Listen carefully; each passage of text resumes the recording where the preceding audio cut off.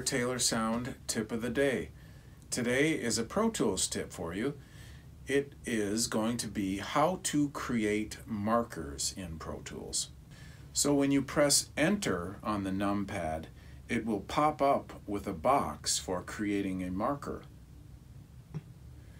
In your preferences, you can set colors to identify your markers better.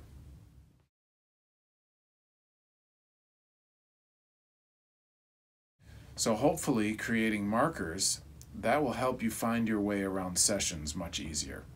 Rock on!